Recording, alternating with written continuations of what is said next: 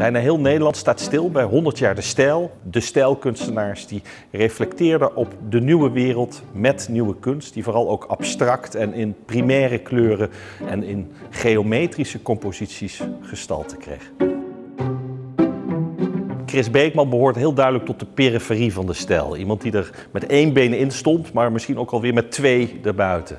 En mijn eigen interesse gaat heel sterk uit naar die personen die in die rafelranden van zo'n beweging opereren. Omdat ze misschien juist met hun kunstwerk ons ook opnieuw dwingen uh, met andere ogen te kijken naar alles wat we dachten dat we al kenden.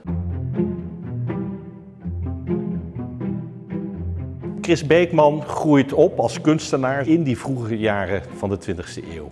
De stromingen bereiken langzaam maar zeker Nederland. Dus het modernisme slaat ook hier toe.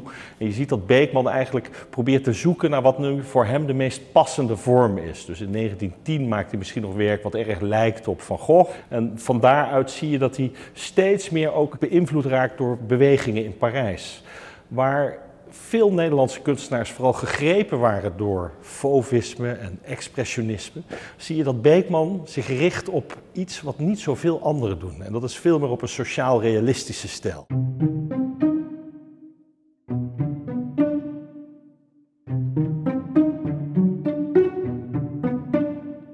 Veel kunstenaars trokken naar buiten, naar buiten Amsterdam. En met name Blaricum en Laren waren populaire bestemmingen veel kunstenaars bij elkaar die daar praten over de vernieuwing binnen de kunst. En ook iemand als Piet Mondriaan en vooral ook Bart van der Lek hadden een grote stem in die gemeenschap.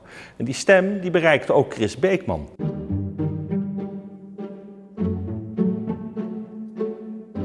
Ik vind het heel charmant, vind ik dit. Dat sociaal bewogene zit er heel duidelijk in, alsof dit een tafereel is in Laren of in Blarikum of waar dan ook. En tegelijkertijd zoekt hij dus al naar die nieuwe wereld, die nieuwe verbeelding van de moderniteit, die wellicht nog beter tot uitdrukking te brengen was met een abstracte stijl.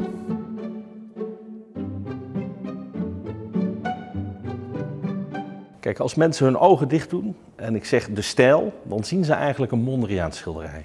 Een lijnencompositie die enkel uit horizontale en uit verticale bestaat, met abstracte kleurvlakken in een soort ideale compositie gevat. En dat is ook precies wat Beekman doet. Het zijn allemaal hoekige composities, ze zijn abstract en ze hebben bijna primaire kleuren. En dat vind ik zo mooi aan zijn werk. Het is niet voor niks de afvallige omdat hij terugkeert naar de figuratie, maar ook de afvallige omdat hij zich weer niet helemaal precies voegt in dat grid.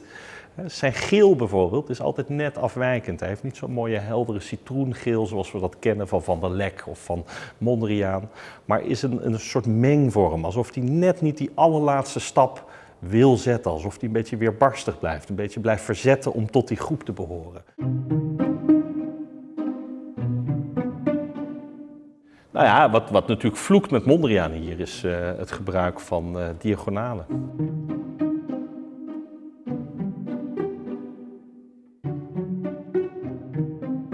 Hij verlaat de stijl volledig. Alles wordt losgelaten om weer helemaal terug te keren naar een hele realistische, sociaal geëngageerde kunstvorm. Chris Beekman geloofde niet dat de arbeidersklasse gediend was met een abstracte beeldtaal. Hij geloofde niet dat daarmee zij een beter leven konden krijgen. Nadat hij gestopt is bij de stijl, echt radicaal gebroken, wordt hij een soort chroniqueur van Amsterdam. Dat zie je bij deze ook. Dit is niet alleen een demonstratie, maar dit is zelfs een verboden demonstratie. Waarbij al die arbeiders door de straat trekken. Wezenloze blik op oneindig. En als je dan gaat kijken naar die handjes, dan wordt het nog mooier eigenlijk. Die handjes die zijn heel verbeten. Allemaal hebben ze iets, een vuist al klaar om in de lucht te steken.